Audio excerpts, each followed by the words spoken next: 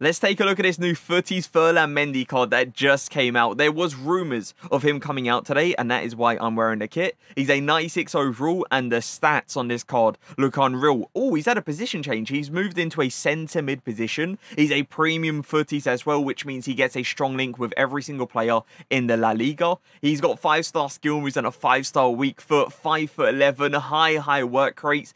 Any shooting traits? He's got the finesse shot trait. Okay, EA. The pace, incredible. Shooting looks very nice as well. Passing looks outrageous. Dribbling looks good. Defending looks good. And physicals looks good as well. I'll be honest with you guys. I think a marksman on this card would be unreal. A marksman chem style looks incredible. Is that what everyone is saying as well? Some people are saying gladiator. Other people are saying backbone as well. Uh, gladiator's alright. Yeah, giving him the extra defending stats is going to be nice. Backbone chem style, where is this? Backbone, you are there.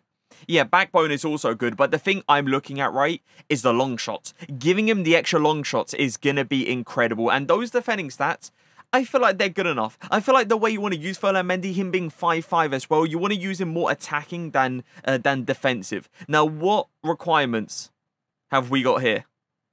Oh my... Hello?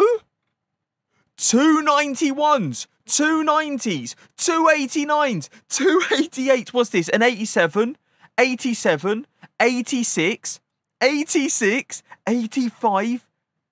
Team in a six team in a seasons, four FUT Birthdays, four future stars, and three winter wildcards. That's yeah. That is outrageous. He probably is like two mil. Probably like 1.82 million coins. It's a lot of coins, but he looks very good.